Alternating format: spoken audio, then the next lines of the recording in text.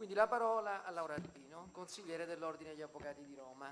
Allora, molto velocemente, originariamente il mio intervento doveva essere, diciamo così, di spiegazione di come la Corte utilizza nel giudizio i fatti e in particolar modo i fatti scientifici. Tutto il parterre mi spinge a tutta una serie di considerazioni, allora, che vanno forse anche oltre, ma che, che prendono spunto chiaramente dalle, dalle sentenze. La Corte da sempre ha utilizzato i fatti scientifici all'interno del suo giudizio, lo ha fatto per interpretare le norme che venivano sottoposte alla sua valutazione, quindi si è trattato di verificare i presupposti su cui si basava il legislatore, la situazione esistente nel momento in cui veniva emessa la norma, la prassi applicativa, lo ha fatto in altri casi per riempire del, di significato le norme, quindi introducendo degli elementi fattuali scientifici che potevano consentire di comprendere il significato di alcune norme magari di carattere generale che dovevano essere destinate a durare nel tempo.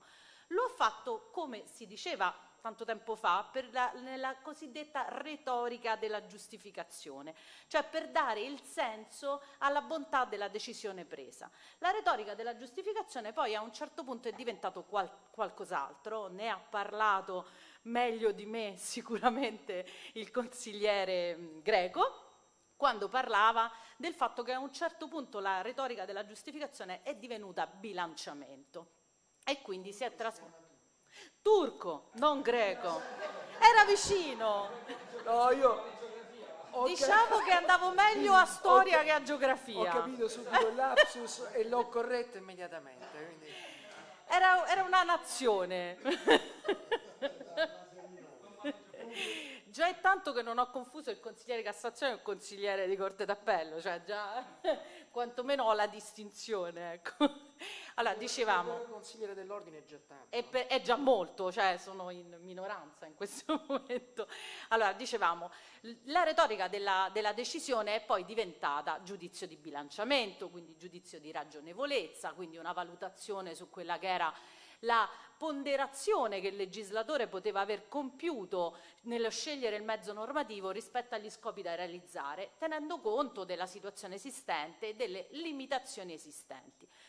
Quando la ragionevolezza è nelle norme che comunque hanno una base scientifica, diventa ragionevolezza scientifica, ecco quindi che sorgono tutta una serie di problematiche. Sono problematiche che avete ben affrontato. La prima e che mi ha colpito nel corso della discussione è quella relativa all'istruttoria. La sentenza, in questo caso che noi abbiamo considerato, pecca di un'adeguata istruttoria. Fa riferimento a eh, quelli che sono le relazioni che sono state offerte dall'AIFA e da quant'altro, ma non svolge a mio avviso un'autonoma istruttoria che pur rientra nei poteri che vengono riconosciuti alla Corte Costituzionale. Sia quelli diretti che potevano essere svolti dal giudice relatore e che ovviamente potevano essere realizzati con il cancelliere e quindi quelli classici di acquisizione di prove, di acquisizione di documenti, ma secondo me anche di assunzione di prove testimoniali, in questo caso non sarebbe stato male. Ma eh, avrebbe potuto anche svolgere quella che viene chiamata, se vogliamo, istruttoria indiretta, cioè avrebbe potuto fare delle ricerche di cui dare atto, invece che basarsi semplicemente su quelle che erano le indicazioni che vengono fornite delle varie relazioni perché questo ci apre il problema anche di scegliere, se vogliamo, in maniera acritica la scienza a cui fare riferimento.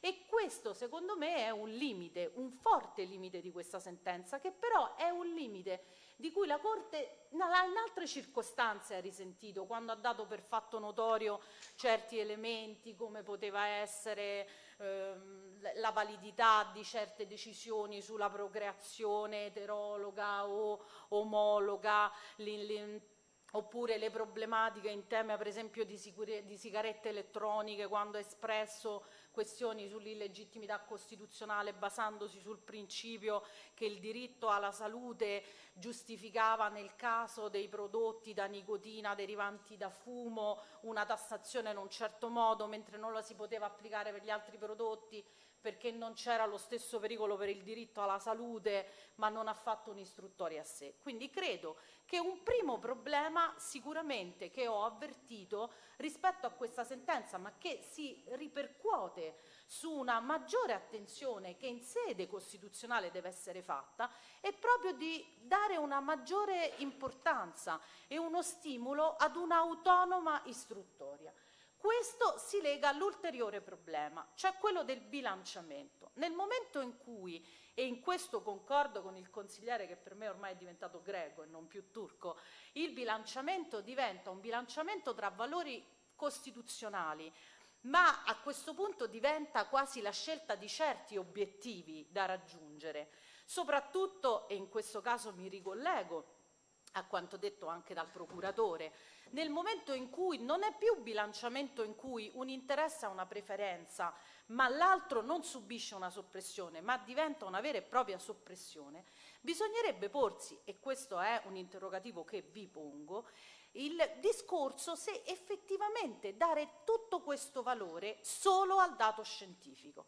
Cioè dobbiamo scegliere una strada in cui il bilanciamento deve essere un bilanciamento in cui l'elemento indispensabile, l'unico da tener conto deve essere l'elemento scienza? Se scegliamo quella strada, allora è un obbligo l'istruttoria che la Corte Costituzionale deve, deve fare perché l'offerta che gli viene data dalla, dal legislatore è chiaramente un'offerta indirizzata come scelta, perché è la scienza di Stato, se vogliamo. Se invece scegliamo una strada in cui il bilanciamento considera chiaramente l'elemento scienza, ma come diceva Morrone, la libertà dell'individuo e i valori dell'individuo vanno oltre la scienza e quindi bisogna considerare anche la politica, allora nel giudizio che la Corte deve fare, a mio avviso, deve anche valutare l'eventuale discrezione che il legislatore ha operato. Ovviamente vi lascio questo, rispetto a questo tipo di interrogativo. L'altro interrogativo che mi sono posta e che nasce proprio da quanto riferiva il eh, procuratore in ordine alla tecnocrazia è ma siamo arrivati in un punto in cui la legge, oltre ad avere una legittimazione dalla democrazia, perché è espressione del popolo, una legittimazione che gli deriva dal rispetto dei valori costituzionali, deve anche avere una legittimazione scientifica? Io penso di no. Penso che oh, non può essere così. Quindi quando si emana una norma, necessariamente occorre fare riferimento alla scienza quando si tratta di una norma che ha come suo dei presupposti di tipo scientifico, ma la scienza può indicare i rischi, ma è poi la, la, scelta di correrli e la valutazione dei rischi che deve essere lasciata al legislatore e alla politica. E la Corte Costituzionale, nel momento in cui giudica, deve tener conto di questo non solo del fatto che si tratta di una norma basata su degli elementi scientifici.